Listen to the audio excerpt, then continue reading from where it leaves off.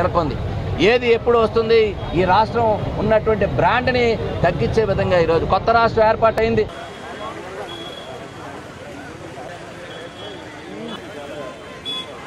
నశించాలి నశించాలి వైఖరి. Pre release pre release.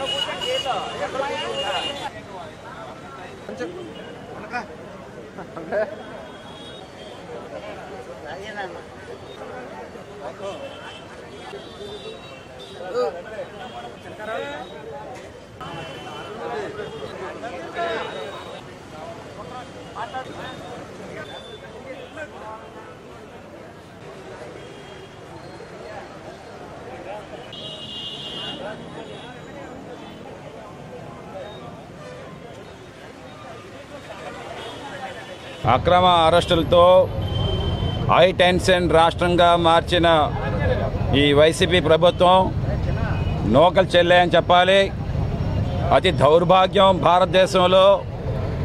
ఇంత త్వరితగతిన డీపోలరైజేషన్ స్టార్ట్ అయిన ప్రభుత్వం ఏదైనా ఉందంటే ఒక ఏడు నెలల్లోనే ప్రజలు చీకొట్టే విధంగా ఈరోజు మనం చూస్తూ ఉన్నాం అన్నమాట.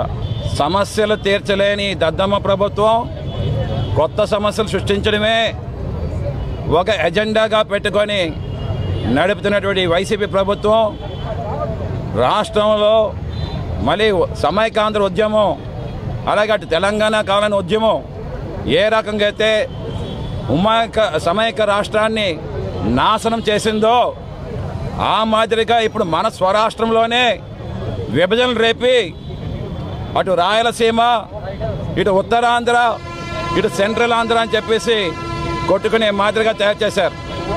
పోలీస్ యంత్రాంగం ఏమో పెట్టి పోలీస్ యంత్రాంగం పెట్టి పరిపాలన చేస్తా ఉన్నారు ఎంతకాలం పోలీసులు పెట్టే పరిపాలన చేయగలుగుతారని నేను ప్రశ్నిస్తా ఉన్నాను.